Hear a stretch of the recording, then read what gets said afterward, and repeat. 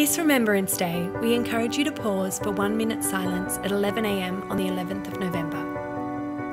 You can also show your support for past and present servicemen and servicewomen by visiting the Australian War Memorials website and leaving a message in our virtual field of poppies. Go to lestweforget.gov.au and post your words of thanks and support now.